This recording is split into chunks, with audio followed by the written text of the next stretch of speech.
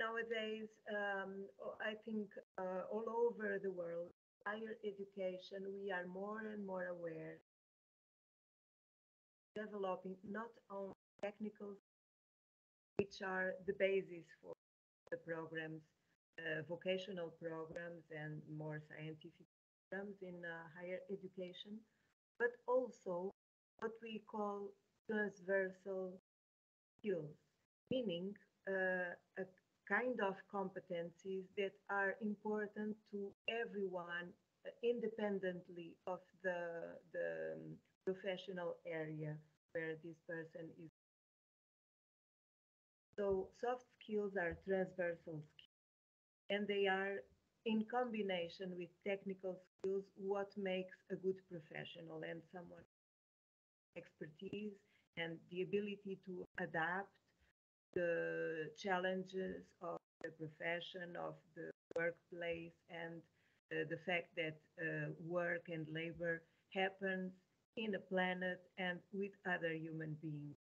So soft skills are a lot about how to cooperate with other people, how to lead groups, how to understand the ethical aspects of our behavior, either in, in uh, human relationships or more uh, professional relations. Um, how to create new uh, devices, new procedures, how to innovate and to solve, uh, how to um, critically understand the effects of our behavior, our activities, uh, the, the products that the enterprises create, what we consume, what we eat. So everything is subject to some kind of uh, inquiry and understanding the, uh, the implications, ethical and more of our behavior. So the best professionals are those who have this sense of the relevance his own behavior on other people and the world. Uh, so soft skills are nowadays um, uh, recognized as a vital factor for uh, the success in environment. And what kind of environment do we have today? It's um, characterized by speed. That's one of the characteristics of modern world. Everything happens really fast and uh, changes can happen in one day, more changes than happened before in a few years. So this is what we have today, uh, speed. And this speed is um, maybe not very compatible with the way how we used to behave and to understand the world. Another characteristic is connectedness. Due to technologies and globalization, we are connected to everyone. So what happens one side of the world will have effects in the other side of the world. Our behavior is not without consequences. And due to this connection, we can learn from each other and faster, uh, but also the dangerous effects of our behaviors can be uh, faster and more and more dangerous. Uh, and these are two of the most, or three of the most nowadays. So technologies are there too, with the emergence of new machines, new software, and new ways to produce and uh, activity world of. So I have here a few numbers which help understand the uh, modern trends and uh, we know now that in three years time from now, the time spent by humans and machines on current tasks and at work will be equal. So we, this is huge change from first, second, and third industrial revolution. We are now in the fourth revolution, industrial revolution, meaning digitalization of uh, the world. And the machines are taking the place of humans in ma many professional areas. That is a huge impact in the way how we understand work nowadays. The other difference or the other number is 85 million jobs will be replaced by a change in of labor between humans and machines. So the, the um, typology of professions and the tasks that professionals uh, are uh, involved in are about to change and be replaced by different activities, different professions, and different um, uh, responsibilities in the work, both by people and by machines. Third number, 97 million new jobs more adapted to the new division of labor between humans, machines, and algorithms. So this means that we don't have to be prepared for a job very stable for all the, our lives, but we have to be able to adapt. And adaptation is a matter of survival, both in life and in the workplace.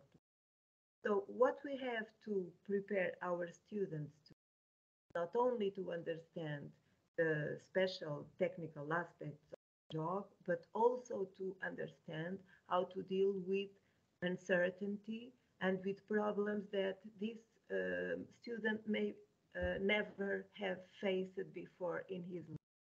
And maybe after five years of experience, when he's starting to become an expert on his tasks, the tasks uh, will be different.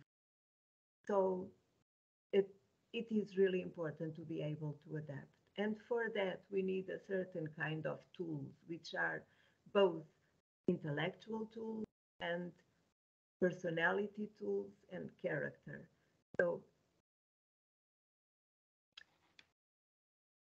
soft skills are there in the core of this uh, capability to adapt in the near future. In this, uh, this program, um, four categories of soft skills have been uh, chosen to be dealt with. One of them, problem solving. Uh, and problem sol solving implies critical and innovative thinking and creativity. So the ability to understand problems, not only to solve problems, but to understand where is a problem and to be able to understand what makes this problem be problematic, understand what kind of strategies might be put into place to solve the problem, be able to put it into practice, and then assess, evaluate the results of action. All this has a lot to do with intellectual abilities like creativity, thinking out of the box, uh, putting in, uh, being flexible, um, being able to deal with the uncertainty and the risk, and um, test and accept some errors. Um, solving problems implies uh, essays, and possibly many of these essays will, will end in failure. So this is a huge, hugely important capability nowadays, problem solving. The next topic is ethical understanding, which really transversal, and it has to do with the ability to understand the moral and ethical sides of our actions in the prof- professional domain. And in these uh, food industry uh, aspects nowadays, there are a lot of ethical aspects that need to be inquired, scrutinized, discussed, and thought of before we take action.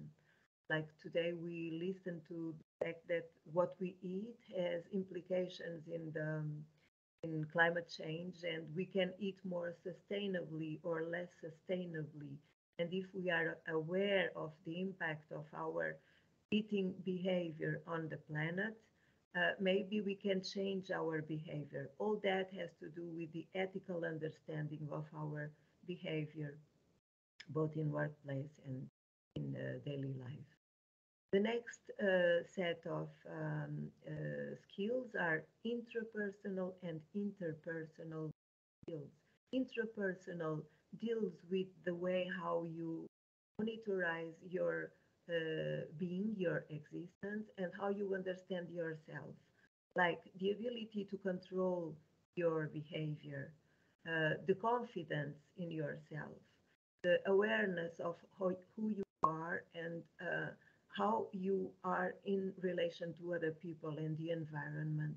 So interpersonal has to do with the philosophy of yourself, the philosophy of existence, and how you change your behavior in order to make yourself become more close to your ideal of a person or professional. Like if you have some models of behavior in your uh, who guide you in your uh, workplace, you would like to become more closely um, uh, similar to this ideal model of behavior and professional. And if you have self-awareness, you can adjust the way how you are to this ideal model and become closer to it. So it has a lot to do with the self-reflection and understanding your behavior, your thinking, your feelings, and become not only aware of the environment of but also yourself in this environment. Now, interpersonal communication skills have to do with your ability to work together with other people and living together with other people and understand that in human relations there is um, I'm sorry, can you listen to me? Yes, yes. Yeah, yeah, because from time to time I get one message on my screen saying that people are attending, waiting for me, and I don't understand what it means. But if you listen to me, great. So about interpersonal uh, skills, it has to do with the um, way how we manage our relationships with other people in daily life and in the work workplace. And it is so important for topics like productivity, quality of our work, uh, the results we can achieve, and the ability to contribute positively to the, the mission and the goals of the enterprise. So it is a, a kind of um, complex skills that can be uh, worked on too and uh, developed and learned. And among these interpersonal skills, the aspects of communication, both verbal and non-verbal, are really essential because uh, if we have a clear and um, uh, interesting way of communication with others, less conflicts, less misunderstandings, and less problems in a team will uh, will happen. So it's really important to prepare students to be um, uh, to be able to communicate in a, in a interesting and positive way with their mates and their um, bosses and uh, their uh, groups if they are leading a group. And that is the next uh, group of uh, skills, which is leadership and team building. Of course, this uh, has been prepared only for level six and seven. So for food um, um, engineers, and in this uh, uh, in this level, we uh, understand that um, many of the um, students who are in this uh, in this um, uh, level of studies might be uh, leading groups sometime in their lives.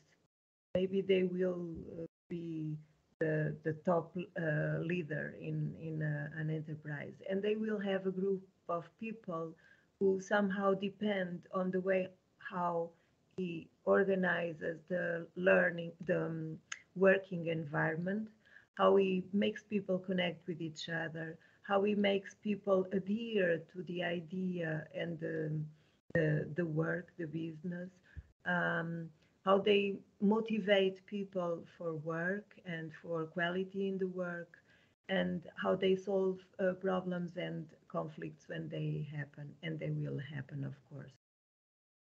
So leadership and team building is the next um, uh, kind of skills that we uh, worked on in this, in this program. Um, there is a number of uh, ECTS, which is four for these uh, topics, a number of contact hours and assessment, around 44. And altogether, this means that we should involve our students in about 100 hours in order to for them to understand and to practice the basis of these soft skills that are included in the so here are a few examples of uh, what we mean by for instance now problem solving and the teaching topics will be strategies used for wise decision making and effective problem solving this will be um, learned from activities. So the all the approaches in these uh, soft skills modules are hands-on approach, meaning that it's not someone telling the student about this topic like I'm doing now. This is not the good uh, idea if we really want to develop soft skills in the person. So that is experiential, meaning that hands-on approach is the best way to deal with these um, this content. So it's not an intellectual content. It's something that you have to experience. You have to be challenged to put it into uh, place, to use it, and then to reflect on the results, how you felt, what you understood, how you want to progress developing this. Like decision making, how can you be able to uh, do some wise decisions in the workplace if you never had the chance to decide about something, if you only obey or if you only follow orders. It's not possible. So you have to take decisions to see the results of these decisions, to evaluate it yourself, maybe in peers, maybe in team, maybe with the guidance of the facilitator, the the trainer, the teacher, but you have to have the experience. So this is one of the teaching topics. Learning from failure is another one. You need to be you need to be uh, in situations where you may fail, but failure not being risky, not um, being a failure of who you are, but a failure of the action. And when you understand that, maybe you can uh, you can avoid this kind of uh, strategy next time and instead use a different action, a, a different decision, a different strategy to solve the problem.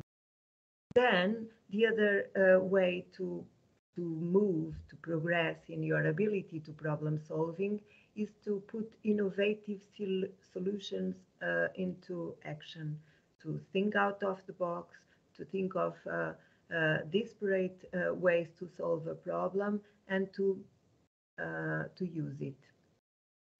Um, cooperative problem solving is really important. Of course, some people are faster in solving problems than others. People who are more flexible in intellectual aspects, who are more um, uh, in, in the mood to take risks are more creative.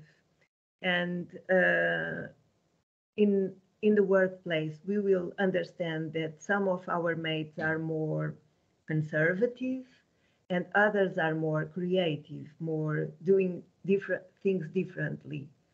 Um, but many of the problems we face in, in the workplace nowadays cannot be solved by one person.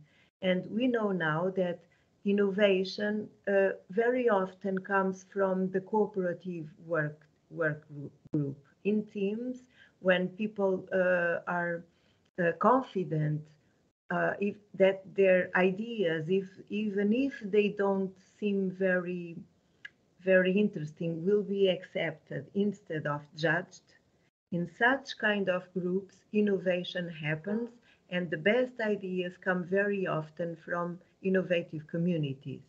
So it's important that you understand how you can uh, discuss new ideas and put them into place with your colleagues and with your superiors and so and then reflection and then of course assessment. That is so important that you have some time to reflect and to understand how your uh, strategies of problem solving um, were impacting a positive solution for the problems so ethical uh, i'm not going to to discuss uh, all these that was just an example but uh, for all the module there are activities there, they are hands-on approach.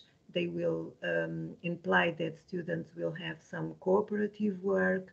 They have some times of um, uh, reflection and they will have the chance to experiment with colleagues some activities that are somehow challenging and uh, make you understand better the importance of developing these kind of transversal competencies.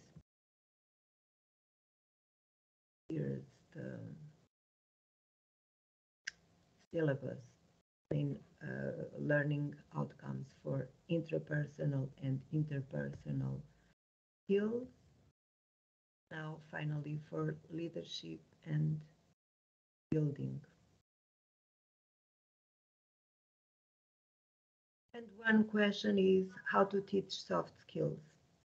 Uh, there are some methods that work better than others. As I already told you, lecturing is not the best way because no, nobody can become a good leader if he has not had the chance to lead somehow in some circumstances, more formal, more informal, to lead groups and to understand the impact of the voice the strategy of command, the, the structure he organized for the group uh, to work, uh, the way how he approach uh, approach uh, his team.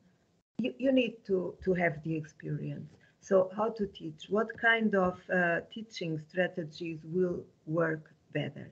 I'm going to tell you that somehow are in the, the chosen methods for this uh, module. And one of them is problem-based learning, PBL. PBL is uh, based in uh, the fact that we face problems uh, all the time in our lives. These problems can, can be more or less complex. Um, and in traditional teaching, maybe the teacher would say, this is a problem. This is the way how to solve the problem and he could lecture about the virtues of this kind of solution. And he could tell us the story of all this problem, and then the solution that is put into place is this one, and this is what you have to do when you face such a problem. But problem-based learning is the opposite uh, method. In problem-based learning, students will acquire essential skills while they solve problems. And these problems will be relevant, so real world problems, and they will be complex, of course, not the maximum level of complexity, but le the level of complexity that is uh, adjusted to the level of skills that the student has in that moment.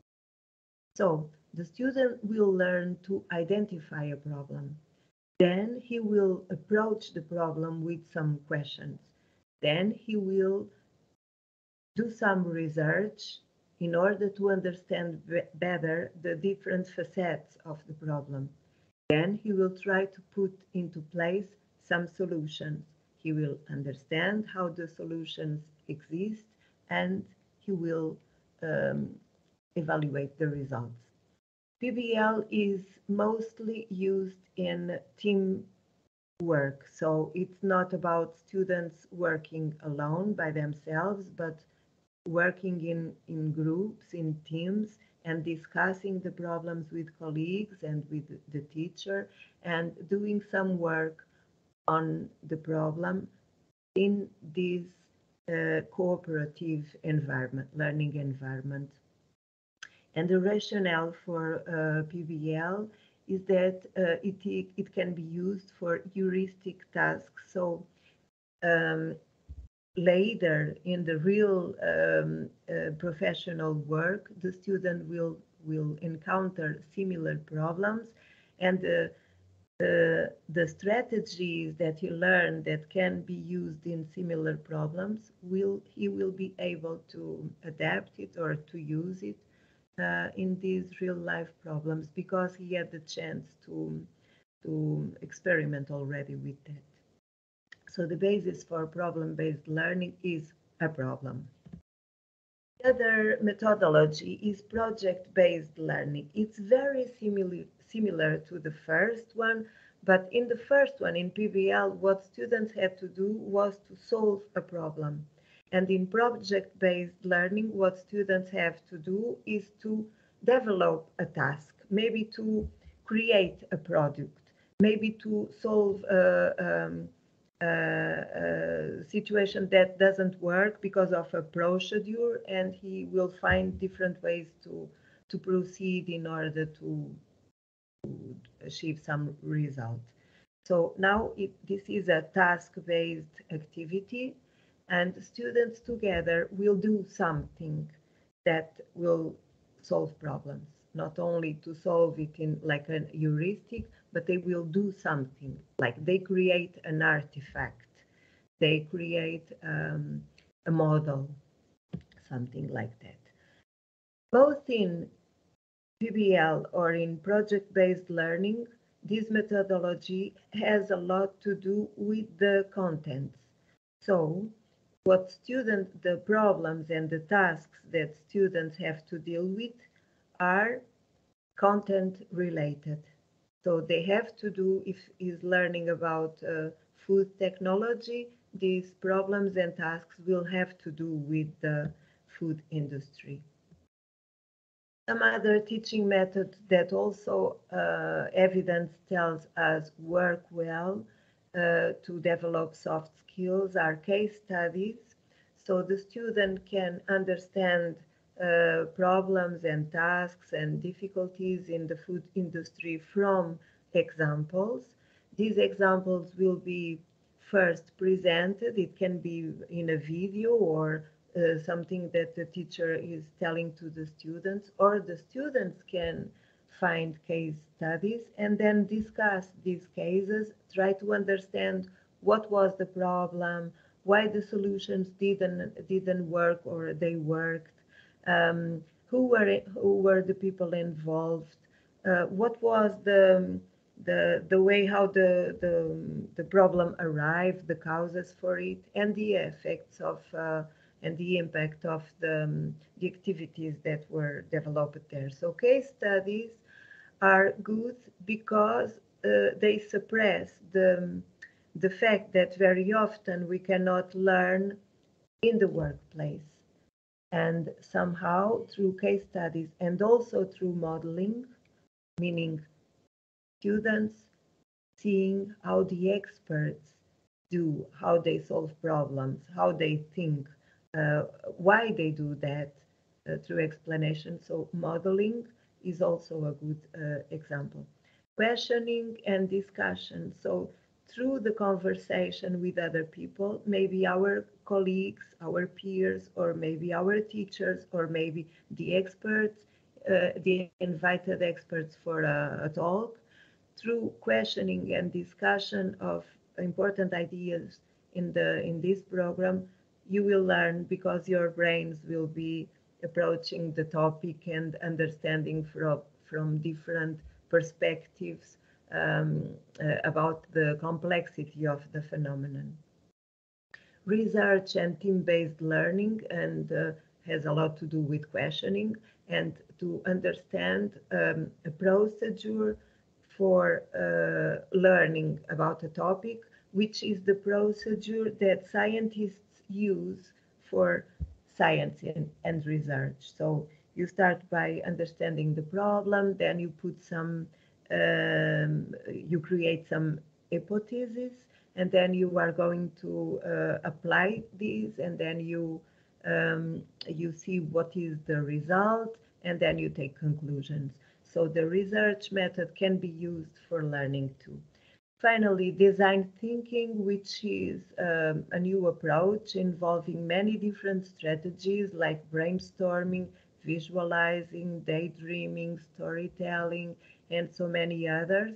And through design thinking, you prepare your brain to think in a certain way that is more innovative and creative and able to make you understand what is into place and how to deal with the different aspects of the problem in a um, more complex way, let's say.